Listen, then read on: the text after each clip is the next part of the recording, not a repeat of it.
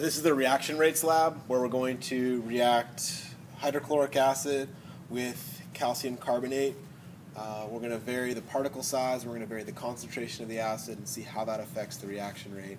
Uh, calcium carbonate is just chalk, so I started with four pieces of chalk, all of equal size. Uh, two of the pieces of chalk I crushed into a fine powder, so in trial two and trial four, we working with chalk that's been crushed into a powder, but it's still the same mass, still the same amount of chalk that we have um, in trials one and trial and trial three. Um, the hydrochloric acid that we'll be using here, I've taken 20 milliliters of hydrochloric acid and then diluted it with 20 milliliters of water. So we have a total volume of 40 milliliters. Uh, same thing in trial two. In trials three and four, I just used 20 milliliters of hydrochloric acid. I didn't dilute it.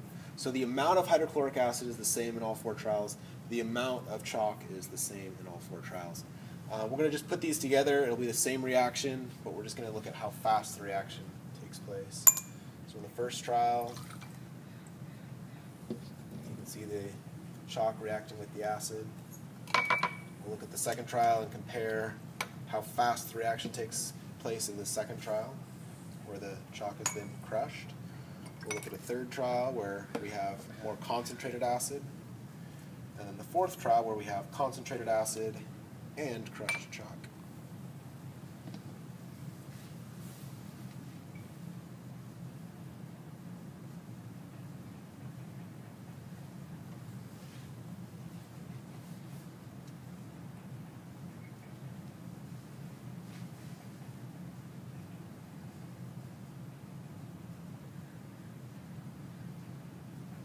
So you see the same reaction taking place in all four containers. Uh, in this first container where we had a large piece of chalk and a low concentration of acid, you can see bubbles forming. Uh, but they're forming relatively slowly. The overall size of the chalk hasn't really changed very much. Um, you can see in this second trial where we had crushed chalk, the chalk reacted a lot more quickly with the acid uh, due to the increased surface area. Um, you can see in this one that the bubbles are only forming along the surface of the chalk because the hydrochloric acid is only coming in contact with the chalk on the outside surface.